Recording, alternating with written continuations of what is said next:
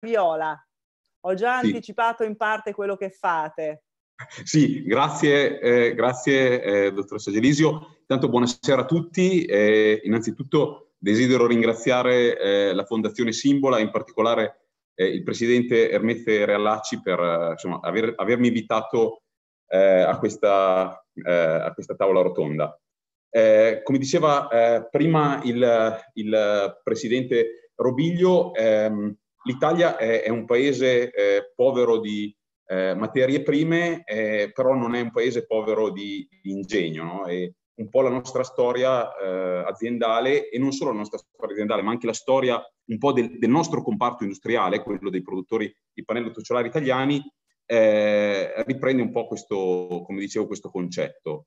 Nel senso che eh, la nostra azienda è nata nel 1963, è stata fondata da mio padre e ha avuto una svolta eh, green eh, importante, come, come, diceva lei prima, eh, alla fine degli anni Ottanta, quando nessuno parlava di economia circolare, di, di green, eh, anzi, eh, diciamo che la nostra scelta era una scelta coraggiosa eh, che ci ha portato a, ad utilizzare, anziché mh, diciamo il legno vergine, che era presente un po' sulle rive del Po, dove, dove, noi viviamo, ad utilizzare una materia prima secondaria, che, come dicevo, alla fine degli anni Ottanta era rappresentata per esempio dagli scarti delle segherie, no? quindi era una materia prima seconda eh, che era abbastanza pulita.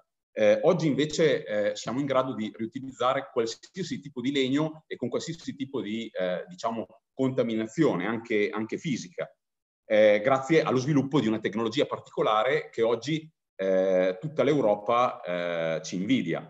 Eh, volevo ricordare che l'Italia oggi eh, ha il primato del riciclo del legno nel mondo, cioè l'Italia è il più grande riciclatore di legno al mondo e paesi come gli Stati Uniti d'America, come la, la Germania o la Francia eh, stanno cercando in tutti i modi eh, proprio di, di seguire l'esempio, l'esempio, italiano. Proprio recentemente, qualche mese fa, abbiamo concluso un, un accordo di joint venture con una società tedesca che si chiama Reinspan, produttrice di pannello trucciolare, eh, che cercava, ha accettato di, di, cedere il 50% delle proprie quote azionarie perché cercava un partner, eh, e poteva essere solo un partner italiano, che lo aiutasse eh, eh una, a, in un percorso di, di, di, svolta green per l'utilizzo di, legno di riciclo.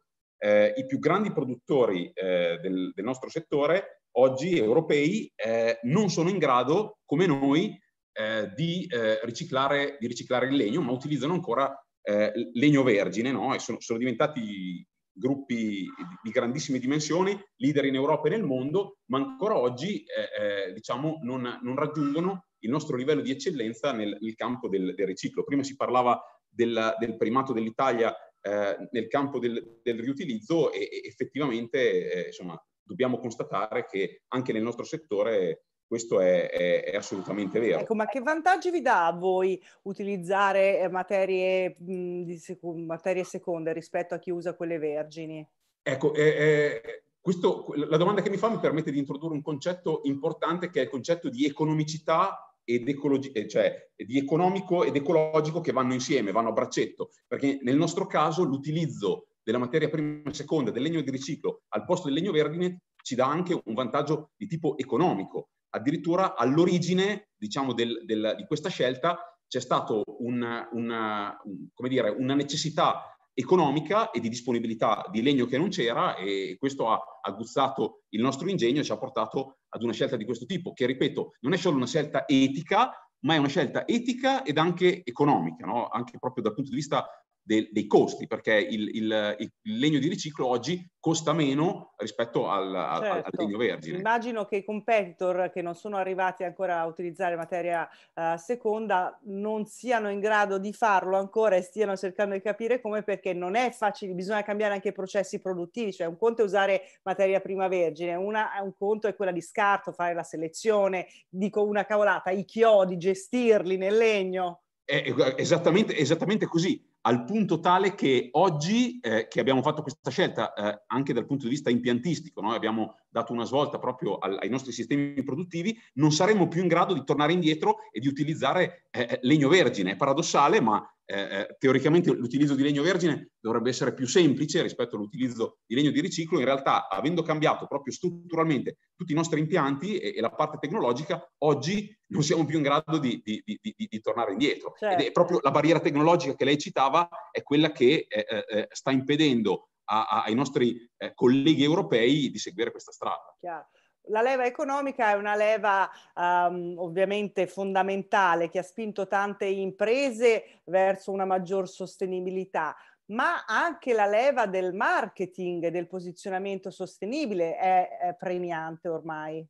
Assolutamente, eh, tanto è vero che dicevo prima, eh, quando siamo partiti, ehm, tanti dei nostri clienti eh, così mostravano qualche dubbio no? sul, sul eh, fatto di poter inserire nei loro, uh, nei loro mobili un pannello, un pannello riciclato. No? Pensiamo a grandi marchi italiani che, che producevano mobili eh, di stile, di design, eh, diciamo, di, di, di importante valore, dicevano ma come faccio a mettere eh, nei miei mobili un pannello fatto con gli scarti. Oggi questo è un plus, anche nel, diciamo, nelle gare pubbliche, eh, per esempio il Consip assegna a un mobiliere che eh, eh, utilizza eh, pannello riciclato un punteggio più alto, no? quindi l'essere ecologici oggi è un vantaggio anche dal punto di vista proprio del, del, dell'immagine, del marketing e anche nella preferenza del cliente. Certo, per fortuna è cambiato il mondo.